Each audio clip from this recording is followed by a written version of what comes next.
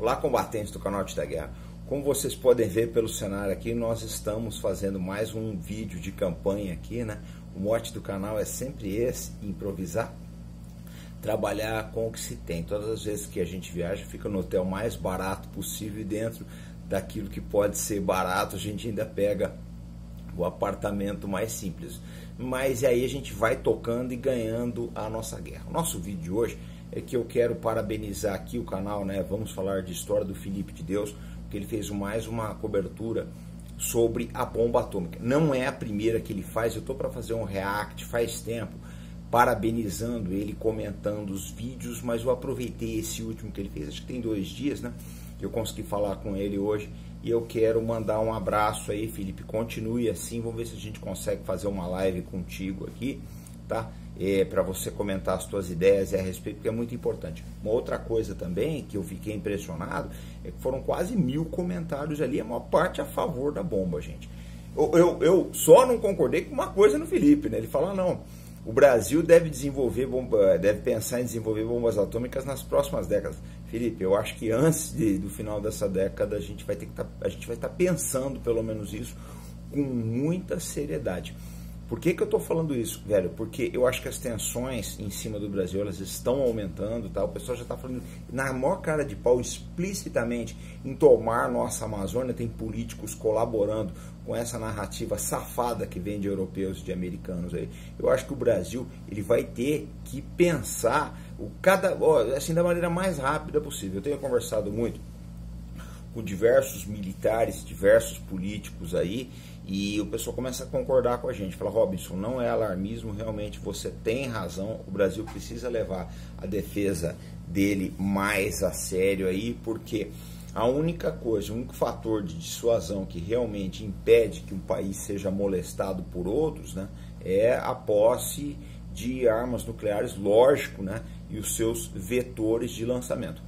Mas eu quero mais uma vez dar um, um, os parabéns aí no, no, Felipe, né? Ele citou o, o Sergei Asnabichev, né? O, o, russo, o cientista político russo, o analista militar, que falou que o Brasil ia precisar pensar em bombas atômicas, né? E é uma realidade. Os russos estão encarando isso porque eles conhecem a cobiça desses países, tá? Olha, gente, é, o pessoal acha que às vezes eu persigo, né? Europa Estados Unidos, mas não é isso. Todas as guerras mundiais começaram na Europa, sempre foi assim sempre começou lá. Vocês veem que a tensão está escalando aí na Ucrânia, né, sobre um problema que na verdade nem é da Europa, é dos, entre russos e ucranianos. Então é muito difícil, é um, é um, continente que sempre acaba virando fagulha para conflitos, para guerras. Então a gente precisa olhar isso com muito, com muito carinho. E o, o Felipe ele levantou essa bola, né?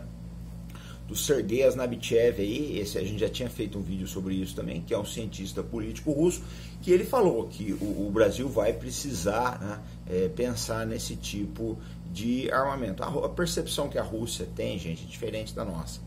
Eles percebem a coisa de forma muito antecipada porque eles sofrem muitas pressões aí, muitos ataques de guerra híbrida, lógico que eles revidam também o russo.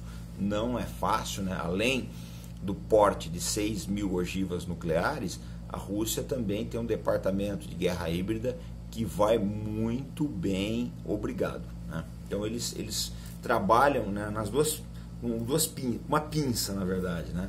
as forças convencionais barra nucleares e do outro lado fazendo guerra híbrida contra os seus inimigos aí.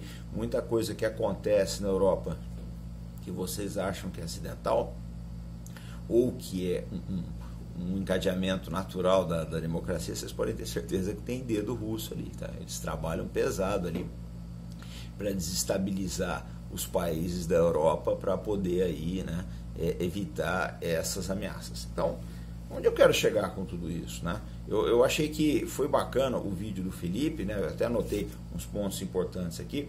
Ele falou, por exemplo, né, é, que os militares tinham um projeto de armas nucleares nos anos 1970. E realmente estava indo muito bem. No, o governo Sarney chegou aí a anunciar que o Brasil enriqueceu urânio, uh, urânio a níveis bastante satisfatórios e estava num caminho bastante bom. Só que sucessivos governos aí, o Collor, Fernando Henrique, né, aquele, o, o próprio Temer e a Constituição do Ulisses acabaram enterrando né, o nosso projeto nuclear. E a verdade é que um país do tamanho do Brasil, com a riqueza que nós temos, gente, não pode prescindir de armas nucleares. Eu estava no interior hoje, parei num cruzamento para esperar um trem passar, fiquei contando no meu relógio, quase 15 minutos de trem passando. Quase 15 minutos. Ou seja, a riqueza que esse país produz é enorme. Enorme. Tá? Esse, esse material que o trem estava transportando, provavelmente ele vai para exportação. Então o Brasil é um país muito rico. A gente precisa fazer com que essa riqueza chegue aos brasileiros. Para isso, nós não podemos aceitar nenhum tipo de ingerência externa. E elas existem, são, estão presentes, são gritantes no Brasil e atrapalham o nosso desenvolvimento. Se vocês duvidam disso, é só olhar o trabalho que diversas ONGs americanas fazem aqui no Brasil, no sentido de cercear o trabalho da nossa polícia. Eles fazem tudo isso porque, na verdade, tem medo do, Brasil potência, gente. Esse é um fato. O Brasil tem condições de ser aí um dos países mais ricos do mundo e tomaria mercado de americanos e europeus. E eles têm um medo enorme disso não é à toa que vivem ameaçando, vivem falando em sanções contra o Brasil. Mas eu vejo a coisa de forma muito positiva. Quando um, um, influenciador digital, como é o caso do Felipe, que tem uma audiência muito grande, faz um vídeo desse, o vídeo é bem acolhido pelo público, a gente viu lá mais de 80 mil visualizações, uma, quase mil comentários, é a hora que eu olhei, acho que já deve estar com mil comentários, e a maior parte favorável, eu acho que a sociedade acordou. Eu acho que vai ser muito difícil agora né, é devolver o gênio para dentro da garrafa. Ele já saiu.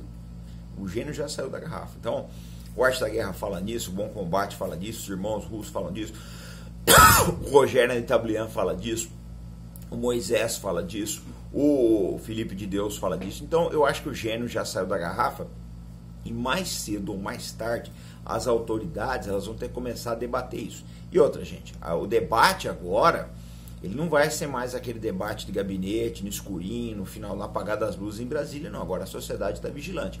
Uma proposição que nem essa, que Ulisses Guimarães né, colocou na Constituição de 1988, que o Brasil só poderia usar energia nuclear para fins pacíficos, hoje jamais passaria. Poderia até passar, mas com muitos protestos, muito desgaste, para os políticos. Então, eu acho que a, a nossa vigilância como sociedade ela está melhorando bastante. Isso principalmente graças aos influenciadores digitais, né? O, o, o, os influenciadores das redes sociais.